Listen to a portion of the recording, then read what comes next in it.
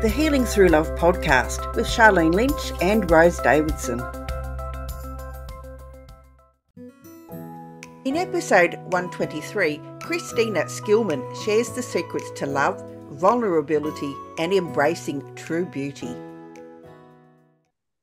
I just want to say like that's a red flag, and I want because whoever you're going to spend the rest of your life with, you should feel like you can be your whole self. Because if the end goal and the biggest desire for every human being on the planet is to be fully known and fully loved, you can't be with someone who makes you want to put your guard up. Mm, absolutely. I love it. It's so true. So, so finding that perfect partner is an inside job on every level from what you've yes. said. And we need to do the inside work. And when we have a higher level of self-worth, we're no longer even attractive to people that want to do us harm. When they don't even see us. We're annoying to them. on every level. That's right. So they leave us alone and we're no longer attractive. So it is all an inside job. It's and true. I love what you said about the red flags. We must be mindful of them. And this level of awareness is the beginning of the truth from what you've said. Yep. Welcome to another episode of Healing Through Love. Each week, we share ideas, experiences, and resources to increase the awareness of domestic and family violence and to empower survivors to grow and thrive. We talk with experts who share their advice, or with people who have experienced abuse, no matter where they are on their journey. This is all about healing through love. And now, here are your hosts, Sharlene Lynch and Rose Davidson.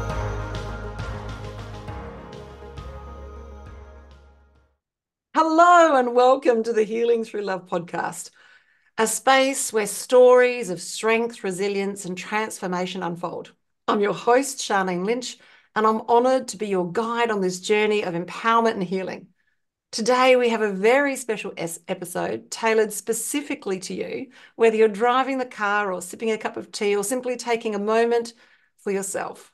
I want you to know that you're in a safe place. Healing Through Love is more than a podcast, it's a community, a beacon of hope to remind you that you're not alone. In this episode, we have a guest who will share a story that resonates at the core of our mission, a story that illuminates the power of love, resilience, and unwavering strength that lies within each of us. So settle in, take a deep breath, and let the healing journey begin.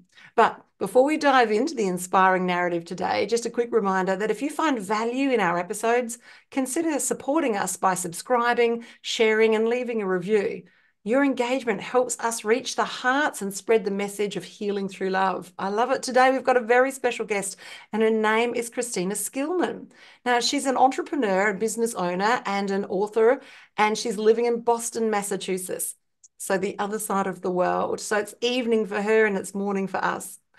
Um, her own personal journey of being fully known and fully loved began with a very solid and public commitment in 2016 that culminated in meeting her now husband in 2017.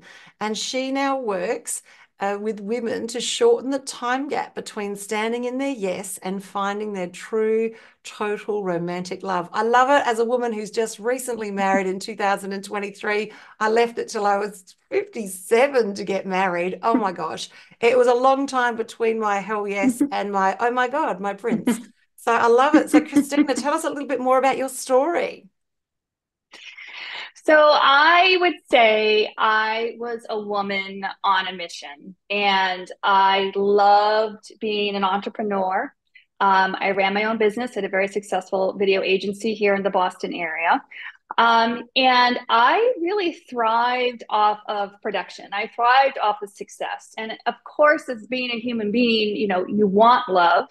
Uh, but I always kind of put that into someday or just kind of hoping it would come to me. Um, so I, I have to say, like, my life turned on a dime. It was actually the summer of 2014, and I met someone. I'm going to call him Tim just for the sake, uh, not his real name. Uh, and this man just knew how to sweep me off my feet. I didn't know anything about narcissists. I didn't know anything about love bombing. I just fell for what he was selling hook, line, and sinker. And he had the money and the toys to like get the job done. And I give him credit. He is very good at wooing women. And uh, I just, I just fell head over heels for this man. Year and a half later, a lots of like heartbreak and pain. Uh, obviously, that relationship didn't work out. And I'm here to tell you right now as sad and awful as that ending was, it was without a doubt the best thing that ever could have happened to me. It's the best thing that I met him, and it was the best thing that we did not work out.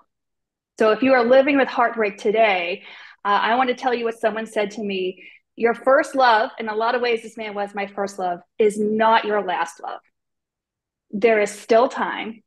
And until someone's putting nails in your coffin, it is not too late and you haven't missed it.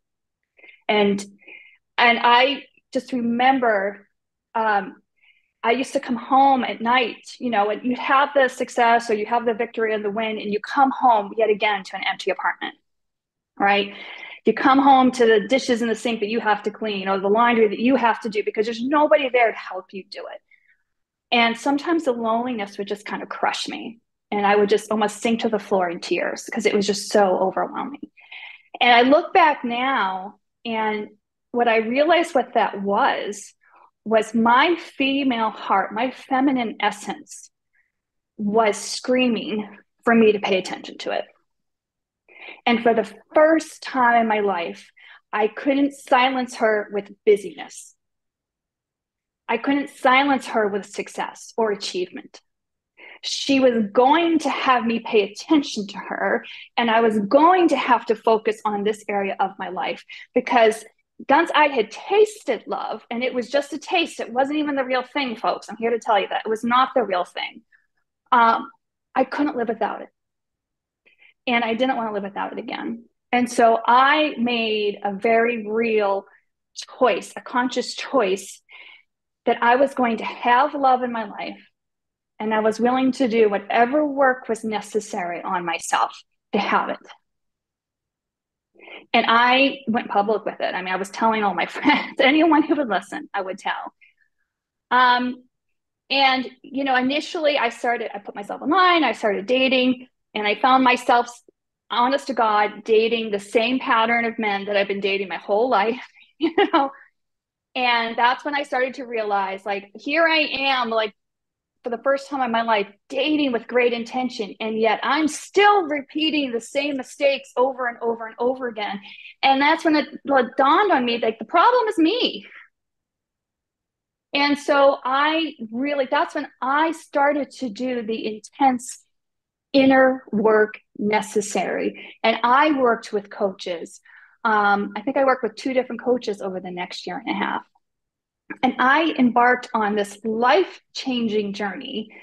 And that culminated a year and a half later with me meeting my now husband. And I can tell you by the time I met Joe, my now husband, the kind of man I was looking for, the kind of person I was attracted to, was entirely different than any man I'd ever dated before in my life.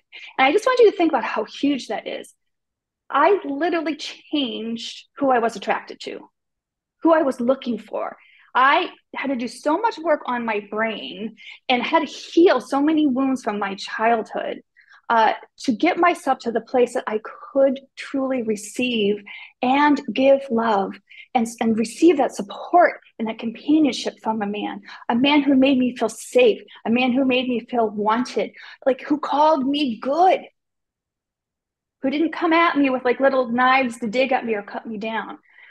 And that I can't even tell you like how that took for me it took me a year and a half to kind of put the pieces together and finally figure it out.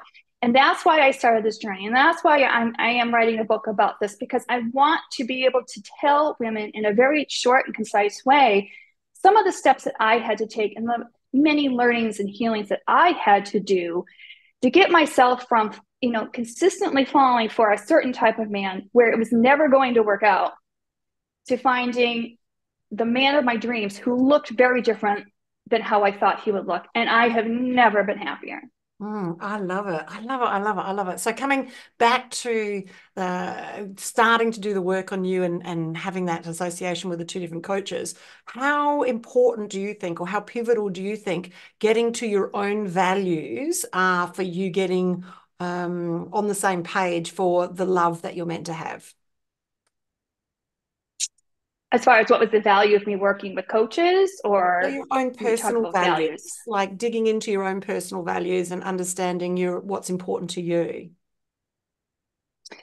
Well there's a lot of great exercises that i had to do and but one of the things that i really had to come and realize was that i can have it that i can have what i want and that there's more than enough out there. So if I am dating someone and he's not it or he's not into me for whatever reason, it's okay because there's somebody else out there. Mm, so true. I and, you, and I really had to wrap my head around that. I had to wrap my head about what, what I had to offer was enough because I hid behind perfectionism for so long. And I really projected this image of myself that I thought everyone else wanted me to be. Hmm. And to be able to take down that and learn that vulnerability and to offer up the true Christina Skillman um, was scary. And what, what hurt even more was like if you met someone who didn't like it, who didn't like the Christina Skillman, like that would really kind of set me back and like really hurt my feelings because the first time in my life I was dating, you know, barefaced, right? I was showing the world who I really was. And I never forget, I had a coach tell me once, she said, Christina, it is a man's right to not want to date you. And I remember just feeling like someone put cold water in my face. I was like, oh, you're right it's okay, right? It is okay if he doesn't want to date me because there's somebody else out there who will. Um, so it was just a process of learning my values and changing my dialogue and healing, you know, th- relationship with family and things that had happened, um, and healing really the relationship with myself, my relationship with beauty, um, and to let to practice that receiving muscle because I was so used to doing everything for myself. I was very good at being independent. I was very good at being, you know, superwoman. Uh, but the truth of the matter is, I really wanted help. I really wanted support. I really wanted a person next to me in the mess with me, mm. not not just friends. Like he's in the mess. Like this is our life. We're doing this together. We're we're you know we're in the foxhole together um, and to, to be to know that I can have that and that I'm worth that and that somebody wants to do that for me was a really important part of my journey. All right. Oh, I love it. This is so juicy. So, so you've got this recovering perfectionist, and and you've also got the people pleaser. So, do you think mm-hmm. those two are connected in some fashion? I do. You know, it's really interesting because I never would have thought of myself as a people pleaser because I'm also a truth teller. so, but it's only even been very recent in my journey that I've realized like I've been a caretaker of my family growing up. Like I've I've taken on so much burden onto my shoulders because I'm good enough and you know I I can do it, so I should be able to do it. And so it's really been the work of my adult life, beginning with this journey to see how much of that was really dysfunction. Mm. And that I'm not being asked by the universe to carry the load for everybody. I love it. I love it. So you've got all this internal work that needs to be done so that you are ready for that space of receiving. Um, but on the mm-hmm. external level, uh, love to have a conversation about red flags and what things that people who are in the dating process. So many of the people that are listening to this podcast are either coming out of domestic violence or some of our some of our clientele are still in there. You know, they've obviously had patterns of behavior that they've repeated. So um, the red flags, the things that they need to be mindful for when they're looking to date um, down the track. Uh, if you had a better understanding of that back in 2000, was it 14? Do you think that would have had a different outcome for you? So I I want to say knowledge is power. So begin there. And I want to give any woman who's coming out of an abusive background, the first thing I want to bless you with is time. I want to give you time uh, to heal. And I want to give you time to understand those old patterns and what role you may, might have played in participating with them in some way. Mm. Because if we can't understand that and, and do the forgiveness of yourself and the other people and do all that healing that we need to do, you're just going to keep repeating those same patterns over and over again. We've got to take what's currently in the darkness and bring it into the light. And that takes time. I know when you really want something, and I want to bless that desire to really want love in your life, you're going to have it. It is your destiny to have it. But please understand it is a process. And that process is good and it's going to change the rest of your life.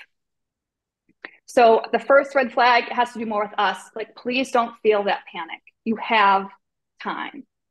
There is no clock, Matt, that's going to run out and then you're going to lose the love of your life. He's coming. Uh, but whole, healthy people attract whole, healthy people. So let's get ourselves whole, healthy, and happy so that we can attract a like minded person. Hmm. Um, so, because uh, a major red flag for me, you know, speaking of that initial react, that initial relationship was love bombing, and I didn't even know what it was. Uh, I, you know, it's funny though, because I remember I had a dream when we were first dating that uh, my ex boyfriend was coming in a, a big black tank to take over my life. Because I could feel even that early stage that it wasn't about me. Made it sound like it was all about me. But at the end of the day, it was all about him. It was all about what he wanted and when he wanted it. Mm. Uh, he knew, so that is a huge red flag. He, he knew how to manipulate you, and we need to be aware of when we're being manipulated you know one of the things that my my husband did when he we first started dating he's he always made me feel like i was right that i was good. So another red flag for me would be if someone's coming at you with a critical spirit like little quips little things to kind of keep you off balance and off guard. Um, I just want to say like that's a red flag. And I want because whoever you're going to spend the rest of your life with, you should feel like you can be your whole self. Because if the end goal and the biggest desire for every human being on the planet is to be fully known and fully loved, you can't be with someone who makes you want to put your guard up. Mm, absolutely. I love it. It's so true. So so finding that perfect partner is an inside job on every level from what you've yes. said. And we need to do the inside work. And when we have a higher level of self-worth, we're no longer even attractive to people that want to do us harm. When they don't even see us. We're annoying to them on every level. That's right. So they leave us alone and we're no longer attractive. So it is all an inside job. It's and true. I love what you said about the red flags. We must be mindful of them. And this level of awareness is the beginning of the truth from what you've said. Yes. That having that level of awareness, not just for our own self, but what's exteriorly happening, then we can we can respond differently and we're attractive to different people. I love it. Now, today you are only three months from the launch of your book. Is that right? Yes. That's exciting. That's yeah. exciting. Thank so uh, we can expect to see great things. And I'm looking forward to being able to promote that in our community as well, the launch of the book. It's exciting. And um, and so currently you've got a special offer for our listeners today. Is that right? Yes, I'd love to offer anyone who's listening a quick what I call a 30 minute love tune up. So if this is something, if any part of my message resonated with you, if this is something that you have felt is weighing on you, um, you know if if you're feeling that loneliness if you're feeling that readiness to want to stand in your yes and go get it but you just don't know where to start or maybe you feel like you keep attracting the same men or no men at all believe it or not that's both things are actually a pattern. And so i just want to invite you into that conversation invite you into that awareness that you know sometimes we all need help you know having an outside perspective can be really huge because uh, our subconscious mind doesn't always know. We, it, it's looking for the same thing right? Uh, and we have to like again call what's in the, currently operating in darkness into the light. And so if if i can have a conversation with you and maybe point you in the right direction i'll offer you a little bit of truth or tell you more of my story if for no other reason than to give you the confidence and the faith to believe that you can have it um, and it's out there for you, then I'd love to do that. Wow, I love it. It is so true that it's about time. My my my husband that I've just recently married, we dated when I was 21, so that's 30, oh gosh, I'll, more than 30 years ago. So I'm 57 now. Actually, 58 as of last week. So there was oh, a congratulations. Thank you. There was a big gap uh, in yeah. uh, in that, and we wouldn't have lasted if we'd stayed in a relationship I, I was in my 20s because I was just a firebomb and it took 30 years for me just to settle down pedal and uh, and become the person that I am today but you know uh, you know the interesting thing is that he never stopped loving me for that entire 30 years I was still the one that got away and after wow. too many beers, it would be tears for me that would be crying into the beers. And uh, I just I love the story. I love the story. And um, and when we're together, we drive everybody insane because we're just in a love bubble, and we have been, and yeah. we probably won't drop out of it because it's on every level we're destined to be together. But I had to do the inside yes. work. I had mm-hmm. to do mm-hmm. the inside work to get me in a place where I was able to be loved the way that he loves me yes. because the love that he had for me was too much for me when I was in my 20s mm-hmm. and um and I yeah I went off and uh, got myself into a whole lot of trouble in my 20s 30s and yeah. my 40s and that's okay I'm better now but I love it I love it I'm excited that your book is coming out and we've only got 3 more months to wait I'm excited that you're so generous on offering this one-on-one, this love tune-up for 30 minutes. It's a very, very generous offer to have um, have that time with you so that you can dive in deep to see where the person is and and what might help them move forward. And I love the fact that you're doing one-on-one coaching because you know relationships is it's a personal thing, and uh, to run, be running a group program for this it's not as intimate and relationship is intimate and it's about trust and you get that trust when you're working one-on-one with somebody. So i'm excited that you work one-on-one and i'm even more excited with the fact that your entire business is based on referrals. So that just goes to show the caliber of the work that you do and how you serve people and they're so happy to refer you um, to, to their friends that need your services. I love it. So in closing today well, what uh, what um, what words of wisdom would you share with our audience well, I want to say how you do one thing is how you do everything. And so you think this is just about finding a husband. No, this is about so much more than that. You'd be surprised about how, when we heal our relationship with ourselves, how we heal our relationship with our beauty, if we heal our relationship with our self worth, um, how we attract more money to us, more success to us. It just gets our vibrational energy operating at such a high level that you'd be surprised by how much more capacity that you have. And if you're out there and you're feeling exhausted and you're feeling burned out, I just want to invite you into that moment of rest to know that you can start to exercise your feminine spirit and it's powerful energy to start attracting those things that you want into your life, beautiful things that you can co create um, that it's possible for you, that you're worth it, um, and you can do it. Oh, I love that. You're speaking my language. I speak frequency and it's all frequency and high frequency is magnetic and it attracts attracts all sorts of delicious things. I love this. I love this.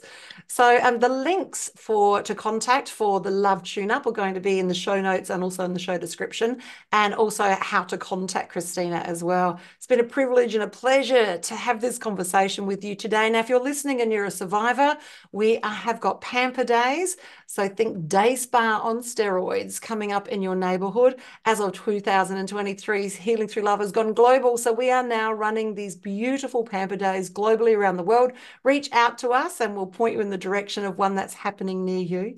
If you're a practitioner and you can make a difference for people who are recovering and shifting through that very challenging time of family and domestic violence.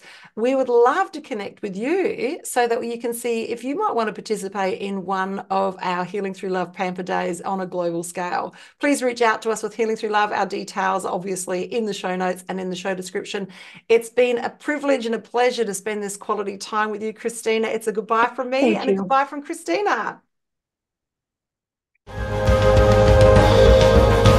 Thank you for joining us for this episode of Healing Through Love. You can get further resources, see the show notes, or simply reach out to us via our website at htlaustralia.org. Thanks so much for joining us, and we look forward to your company next time on the Healing Through Love podcast.